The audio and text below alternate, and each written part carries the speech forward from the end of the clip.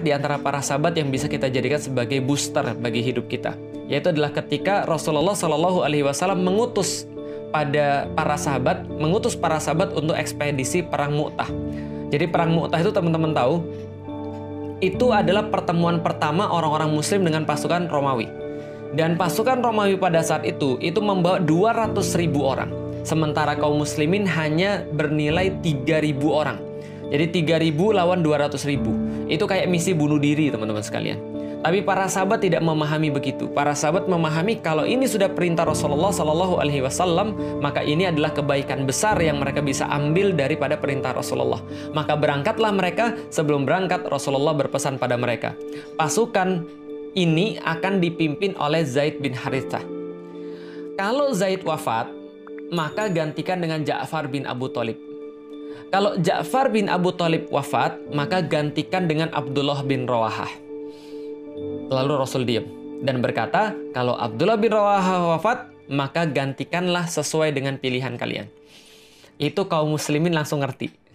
Apa yang dimengertiin oleh kaum muslimin? Bahwasanya besok ketika perang Mu'tah, pasti Zaid bin Harithah gugur lalu Ja'far bin Abu Talib gugur, lalu Abdullah bin Rawahah gugur. Mereka tahu. Dan apa yang mereka lakukan? Itu kaum muslimin berebutan masuk dalam pasukannya Zaid bin Harithah yang akan gugur pertama kali. Setelah pasukan itu penuh, mereka berebut pada pasukannya Ja'far bin Abu Talib. Setelah itu mereka berebutan pada pasukannya Abdullah bin Rawaha. Dan bayangkan bagaimana tiga orang ini menjalani hari demi hari mereka ataupun malam demi malam mereka ketika Rasulullah Shallallahu Alaihi Wasallam sudah berkata lewat lisan beliau dan apa pun yang beliau katakan itu pasti betul. Besok nanti Zaid bin Harithah yang jadi pemimpin, kalau gugur digantikan oleh Ja'far, kalau Ja'far gugur diganti oleh Abdullah bin Rawaha. Dan ternyata ketika hari H itu benar terjadi. Zaid bin Haritha maju dengan gagah berani menerobos pasukan musuh sampai kemudian beliau itu syahid di jalan Allah.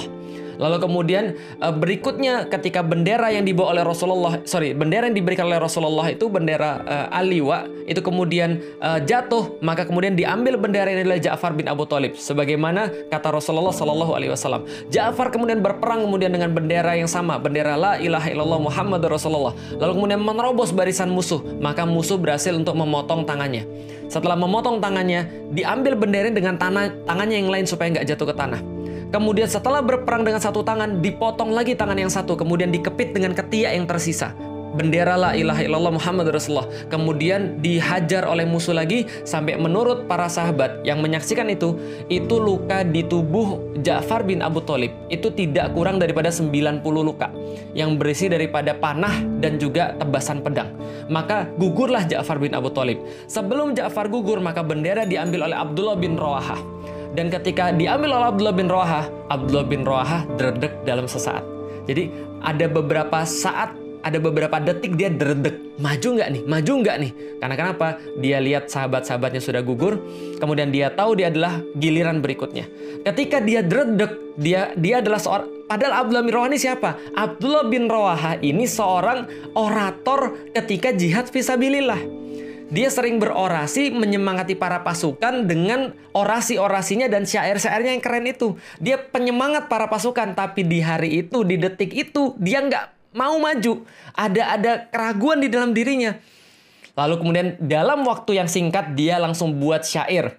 Wahai diriku, kenapa aku melihatmu ini sangat sangat ragu ketika untuk maju dalam medan jihad?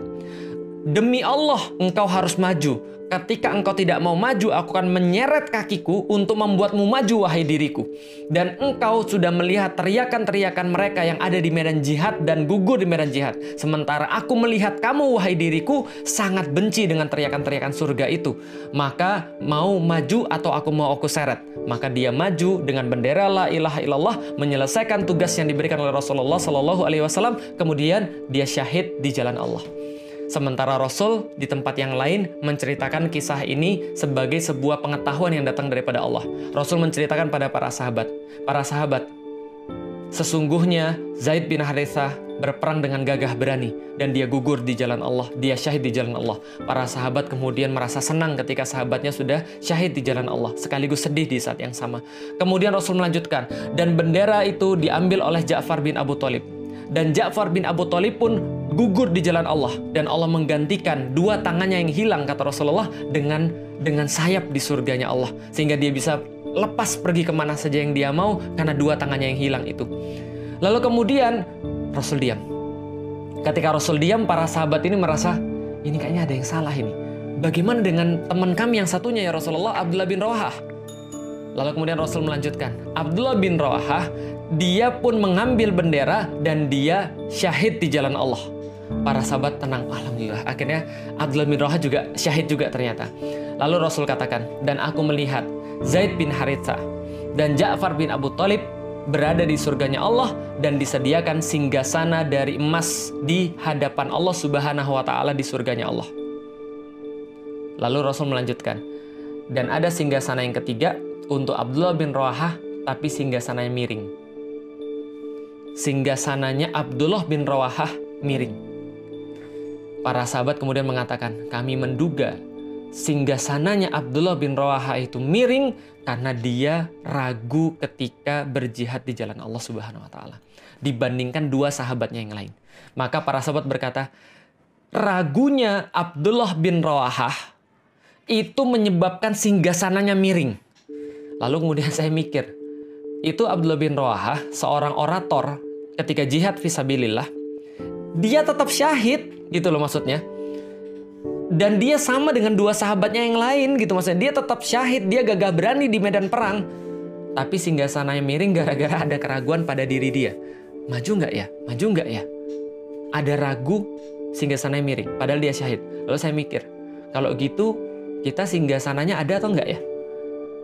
Atau jangan-jangan kita ngesot ada orang mikir ngesot nggak apa-apa loh saat yang penting sudah di surganya Allah. Tapi coba bayangkan teman-teman sekalian, ini adalah visinya para sahabat yang senantiasa menyiapkan dirinya untuk akhiratnya Allah.